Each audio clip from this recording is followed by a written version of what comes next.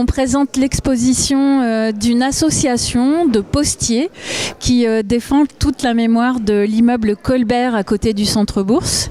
Il y a une belle histoire, c'est l'histoire de la poste, c'est l'histoire des postiers, c'est l'histoire du quartier, c'est l'histoire de toutes les luttes sociales aussi, et donc c'est très intéressant. Et ils ont réussi à retrouver des archives et à en faire une exposition là qui est présentée euh, pour la première fois ici et qui va pouvoir circuler. Ça rappelle aussi euh, l'histoire de la SPTT, c'est assez connu et important à Marseille. Et donc ça permet de faire la, transmission. Il y a des enfants qui vont aussi visiter du coup l'immeuble Colbert. Et donc nous, on continue bah, à transmettre la mémoire et à raconter euh, bah, toute cette histoire qui est euh, très importante à connaître.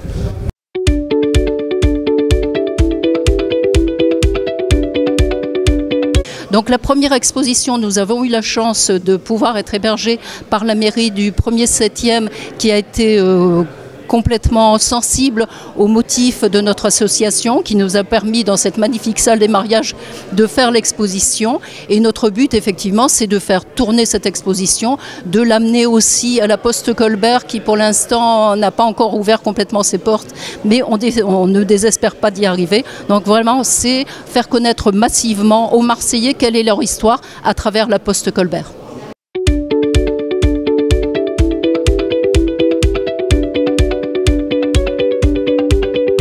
Alors Colbert, c'était la poste emblématique de Marseille. C'est une poste qui a eu 130 ans, qui a été l'émanation pour la Chambre de commerce de quelque chose de plus grand lié à l'activité du port.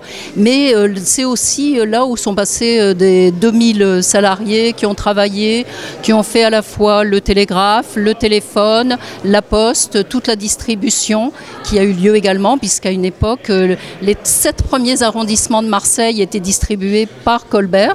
Donc ça a été aussi l'activité de télégraphe qui était l'activité dominante à l'époque, puisqu'il n'y avait pas d'autres moyens de communication que celui-là, puis le téléphone avec les fameuses demoiselles des téléphones.